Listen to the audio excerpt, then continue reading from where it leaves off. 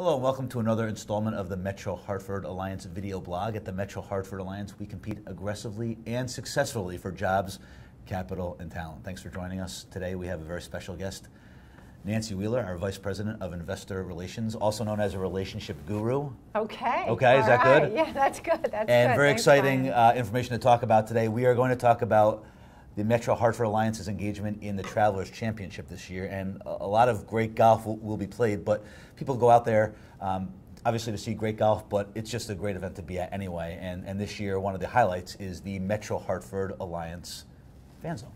yeah. Talk a little bit about that. Uh, what is the fan zone, and, and why why has the uh, alliance decided to brand the fan zone this year rather than um, you know doing what we've done kind of in the past on uh, corporate row? We oftentimes hear our friends at the Travelers Championship say that the Travelers Championship is not just about golf, and it is really for family entertainment. So if you're not a golfer, I am not a golfer. That's unfortunate, but that's spend okay. time at the women's We won't hold that against her. And um, at the fan zone, and the fan zone is is an opportunity to. There are concessions there. There are interactive um, games.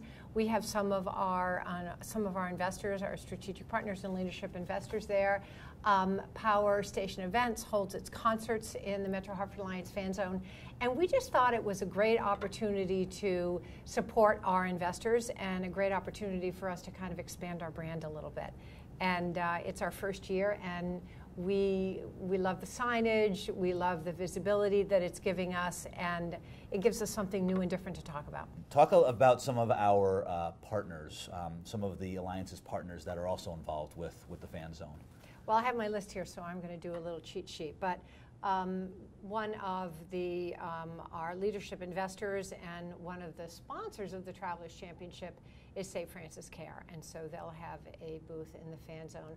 Stanley Black and Decker will have a booth in the fan zone, and uh, so they'll have some uh, they'll have some tools to take a look at, and uh, we know that they're they're like a household name. So be sure to visit the Stanley Black and Decker and the St. Francis Care booths.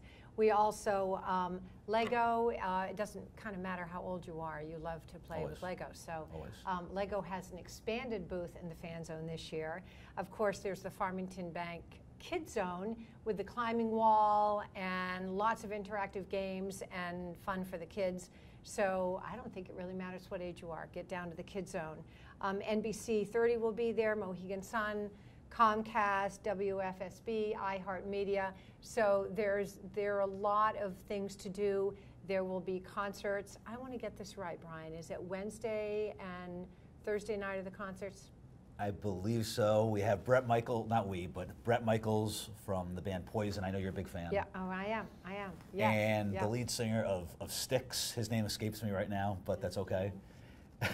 Well, The the- lead singer of the- so they'll, they'll be rocking out those uh, those nights down at the. Uh, I'm actually I'm going to take that back. I think Station. it's um I think it's Friday and Saturday nights, and um, the concerts we know that people go out to um, to the course. They'll spend the afternoon at the course.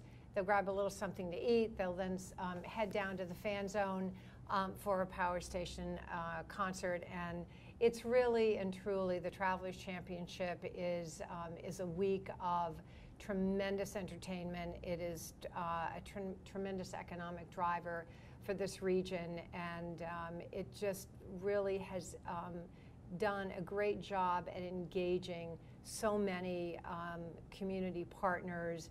As we all know, 100% of the proceeds of the Travelers Championship go to charities, and there is really, um, I, I don't believe there's any other um, PGA tournament in the country that um, has that kind of uh, reputation and those kind of statistics. So No, they do a we're job. really we're really lucky here in the Hartford region to have um, a tournament like this and to have partners and the business community that supports the fan zone.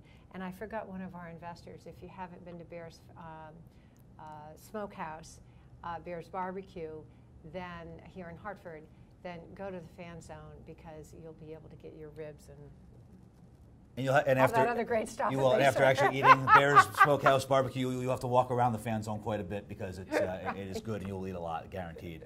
Um, again, MetroHartford.com for more information. TravelersChampionship.com for more information on the tournament.